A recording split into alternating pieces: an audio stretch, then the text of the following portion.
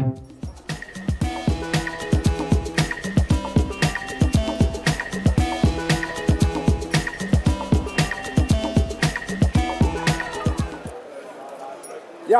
hier sehen wir jetzt unseren 3D-Drucker. Ja. Das heißt, der wird aus Fischertechnik aufgebaut und dann können beliebige Formen, beliebige Figuren über den 3D-Drucker gedruckt werden. Entweder wie jetzt hier so eine kleine Blumenvase oder aber auch Fischertechnik Bausteine oder Zubehörteile, die man für Fischertechnik braucht. Und so können die Kinder individuell ihr Sortiment gestalten. Das heißt beispielsweise einen eigenen Kotflügel für ein Fahrzeug kreieren oder eine eigene Mütze für unser Fischertechnikmännchen und dabei lernen sie noch, wie so ein 3D-Drucker funktioniert. Wir haben eine entsprechende Software Ja. auf unserem Computer.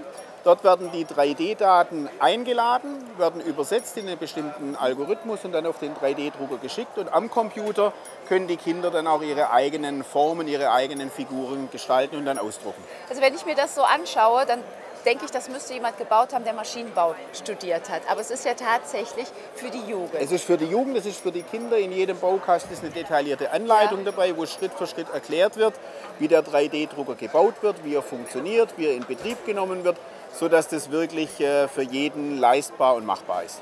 Was müsste denn jemand dafür investieren, wenn er gerne sowas hätte? Also der 3D-Drucker Ja. liegt bei 699 Euro und ist somit einer der günstigeren, die fürs Kinderzimmer sind, die eine sehr, sehr hohe und gute Druckqualität liefern.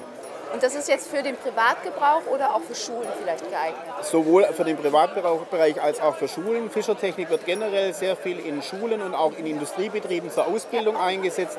Immer dann, wenn es um die Verbindung zwischen Mechanik und Computern geht. Herr Keller, nach der Messe, da geht es wahrscheinlich wieder weiter, auch mit Entwicklung neuer Produkte. Gibt es da schon so eine Tendenz oder wissen Sie schon, wo es bis nächstes Jahr hingeht? Also wir wissen, wo es bis nächstes Jahr Ja. hingeht, aber wir sagen es noch nicht. Ich kann Ihnen nur so viel sagen. Es gibt wieder ganz viele spannende technische Themen. Das glaube ich, dafür stehen Sie ja auch. Genau so ist es. Super, da danke ich Ihnen erstmal. Ich danke Ihnen. Und äh, wünsche Ihnen natürlich auch noch weiterhin eine gute Messe. Vielen danke Dank. Sehr. Dankeschön. Wiederschauen.